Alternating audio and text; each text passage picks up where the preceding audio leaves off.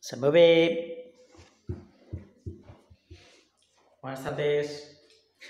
Hoy os presento, os enseño cómo debemos abrir un vino, ¿vale? ¿Cómo tenemos que abrir un vino? Bueno, pues nada, lo primero que tenemos que tener en cuenta, siempre, por supuesto, la mise place, la puesta a punto. Tenemos aquí nuestra copita. Tenemos un platito. Este platito lo que nos va a permitir es poner la cápsula. Otro platito en el cual lo que vamos a hacer es posicionar el tapón. Los reflejos, si lo queremos ver, ya os enseñaré. Como no, el abridor y un lito, ¿vale? Yo en este caso me he traído dos litos, ¿sí? Bueno, pues nada, os voy a enseñar.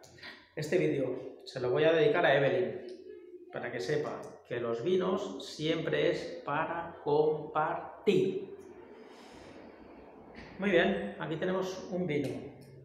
Este señor, que luego me lo diréis, vosotros también vais a ver un vino y me vais a decir por qué habréis abierto ese vino, ha dedicado, fijaros, ¿eh? casi nada, 10.000 horas para conseguir que yo ahora, ¿sí? me lo puedo tomar y me lo pueda abrir en un día tan señalado como hoy. Un día tan señalado como hoy, por supuesto. Todos los días son muy buenos para abrir vino y para tener un día señalado. ¿De acuerdo? Venga.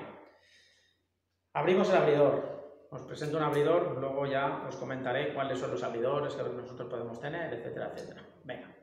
Este abridor, que es el más común, el que nosotros podemos encontrar habitualmente. Tenemos aquí una navajita, una navajita, verla, ¿vale? La veis aquí, ¿sí? Bueno, pues una vez abierta la navajita, lo que vamos a hacer es cortar por debajo del gollete. ¿Qué es el gollete? Ese anillo que vosotros estáis viendo, ¿sí? Tenemos aquí, ¿vale? Como un anillito en el cuello de la botella, pues eso es el gollete. Perfecto. El vino no se debe mover, para nada se debe mover. Ya hablaremos por qué no se debe mover el vino. ¿Mm? Muy bien, pues si no se debe mover, ¿quién se tiene que mover? Nosotros. Cogemos y le damos por debajo, ¿sí? Siempre por debajo del gollete para ir con la navajita abriendo toda la cápsula. ¿De acuerdo? Bueno, una vez nosotros estamos completamente seguros de que la cápsula está bien abierta, lo que vamos a hacer es intentar sustraerla. ¿Vale? Por aquí le vamos dando, pim, pim, pim, pim, pim, hasta que la cápsula, tal como veis, ¿de acuerdo? No salta. Si en algún momento, por lo que sea, veis que dándole no salta, cuando vosotros intentáis sacarla, hay en algún momento en el cual te está diciendo, señor, señora, señorita, que por aquí no la estamos abriendo bien. Por lo tanto, ¿qué tenemos que hacer? Volver a posicionarla debajo del bollete para poder abrir sin ningún problema. ¿De acuerdo? Vale, muy bien. La tenemos abierta. Importante. Navajita para adentro, si no, nos la clavaremos. Perfecto. Sacamos los dos cuerpos. Aquí tenemos un cuerpo, aquí tenemos otro. ¿Vale? Y que sacamos también el tirabuzón. Aquí tenemos tirabuzón para poder sacarlo. Muy bien, perfecto. Tirabuzón, importante. ¿Qué tenemos que hacer? Simplemente, simplemente marcar el tapón.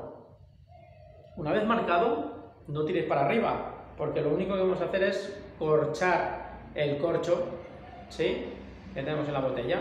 Por lo tanto, simplemente un poquito de presión en el medio, o donde nosotros consigamos el medio. Si no conseguimos el medio, tampoco os preocupéis, porque si lo que hacemos es sacar el corcho, ¿sí? Corchear, tendremos un problema. Perfecto. Fijaros, ¿eh? Se nos mantiene. Voy a sacarlo para que lo veáis. Esto es un tirabuzón. No sé si lo veis. No hago nada de presión. Nada, absolutamente nada. Y el tirabuzón lo tenemos dentro. ¿Lo veis claro? ¿Sí? No hace falta presionar. ¿Qué pasa si nosotros presionamos? Que este tapón que nosotros tenemos se va a ir para adentro. Por lo tanto, nunca presionéis. Jamás. Simplemente lo que hacemos es asimilar un poquito el tapón y para adentro. ¿De acuerdo? Venga, pues vamos a por Ponemos, posicionamos y tal como hemos dicho, tiramos con para adentro. ¿Os fijáis? La etiqueta en ningún momento se está moviendo. Perfecto. Fijaros qué hago yo. Siempre me dejo un poquito, ¿sí? El último tirabuzón siempre lo tengo arriba, por si acaso. ¿Vosotros sabéis si este tapón es largo? No. Yo tampoco. ¿Sí? Venga. Una vez tenemos posicionado, asimilamos este primer cuerpo a la boca de la botella. Súper importante, esta manita que yo tengo, que es la izquierda. Cogemos, tiramos para arriba con la mano derecha. En este caso, este abridor que yo tengo, miraros, si el perfil ya me lo dice, es mi mano, por eso tiene esa posición. Tiramos para arriba, no sé si lo veis, ¿vale? Tiramos para arriba, tiramos para arriba, ¿sí? No sé si se ve clarito aquí, ¿de acuerdo? Si tiro más, ¿qué pasa? Se va a romper el tapón, ¿no? Pues no tiremos más. Ahí lo dejamos.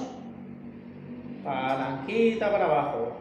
Posicionamos haciendo la inclinación respectiva. Segunda posición del abridor. Ya la tenemos. Segunda posición, pues seguimos tirando para arriba. Siempre nosotros desde aquí, ¿qué estamos haciendo? Mirar el tapón, ni más ni menos. Saber cómo lo tenemos que abrir. Venga. Miramos el tapón, tiramos para arriba, la mano izquierda muy importante, muy importante, si se nos va para abajo incluso hasta nos hacemos daño. Alucina vecina. Perfecto. Lo sacamos, lo sacamos. Fijaros aquí, ¿eh? No me permite más. ¿Sí? Le damos esa pequeña inclinación para poderlo abrir. ¿De acuerdo? Muy bien, lo tenemos. Vamos a dejar, si os parece, aquí el tapón. Cogemos el lito, una vez abierto nuestro vino, y hacemos una L para poder servir. Con un pequeño giro hacia arriba. Tan sencillo como esto. Y el lito, que para eso está, para la gota, ¿vale? Para evitar que el cliente pueda tener algún inconveniente cuando nosotros hacemos el servicio. ¿Ok? Venga. Fijaros cómo la posiciono. Si este señor estuviera sentado aquí, lo tendríamos perfectamente delimitado para que sepa cuántas horas ha llevado este vino, en nuestro caso, lógicamente. Posicionamos, dejamos que entre, si os parece cerramos, ¿vale? Y hablaremos hasta dónde ponemos el vino. Esta gotita que nos queda, pues la quitamos, ¿de acuerdo? Ahora, ¿qué haríamos? Pues seguir con los demás siguientes, etcétera, etcétera. Pues nada, luego me enseñáis a ver qué has hecho. Venga, un saludo.